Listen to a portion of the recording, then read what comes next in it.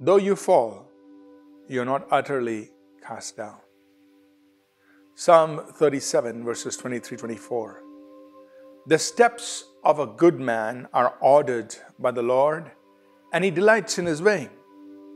Though he fall, he shall not be utterly cast down, for the Lord upholds him with his hand. Proverbs 24 and verse 16. For a righteous man may fall seven times and rise again. In life, we go through difficult situations where we may face challenges, we may face things that send us reeling down.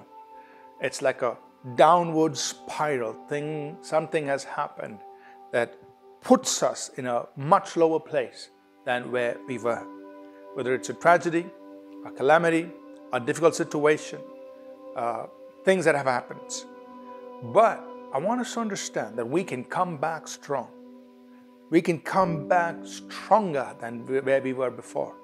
And one of the ways, one of the important things for us to uh, come out of that is to understand that though we fall, we are not utterly forsaken because the Lord upholds us with his hand.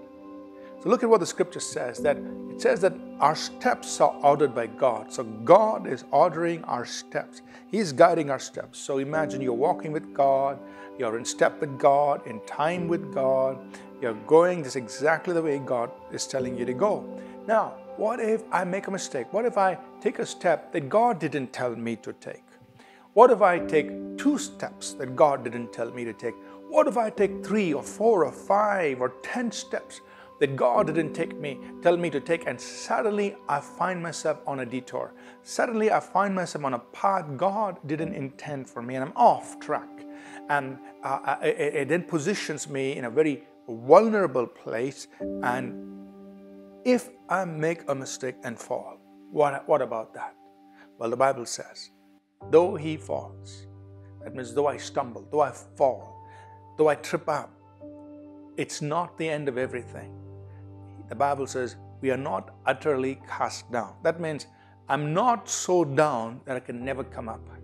I'm not so fallen and I'm not so flat on my face that I, God cannot pick me up. It says, though he fall down, he is not utterly cast down. He is not in a state of hopelessness. This is not the end of the journey because it says here, the Lord upholds him with his hand.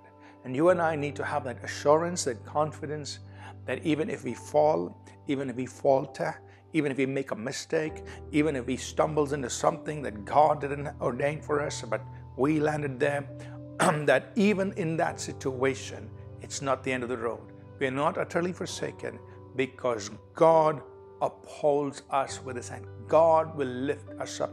God will pull us out.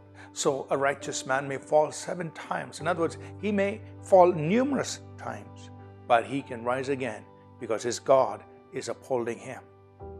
I wonder if there's anyone listening and you're in that place where you think you've fallen, you've stumbled and fallen, you've become weaker than what you were before. I want you to know that you can come back strong if you will put your trust in the fact that God upholds you and God Himself will lift you up.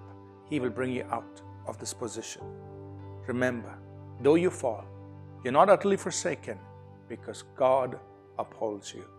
Let's pray. Father, I pray that you bring encouragement into our hearts. That if there's anyone who may have fallen, stumbled, and faltered for any reason, God, we will still have this trust and confidence that you uphold us uh, and you can bring us up, put us back on our feet. And we thank you. You will do this. In Jesus' name, amen. Thank you for tuning in to Living Supernaturally. For more resources to strengthen your spiritual walk, please visit apcwo.org.